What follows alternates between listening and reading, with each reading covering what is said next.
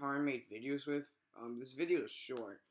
I've used a photo booth to make these videos. You didn't know, or you didn't know.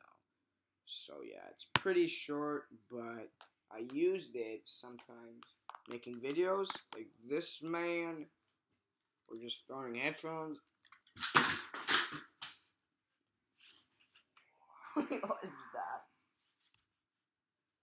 It all about another Woody. And then. Ugh! Censored. So yeah, like and subscribe. I'll really see you in the next video. Bye.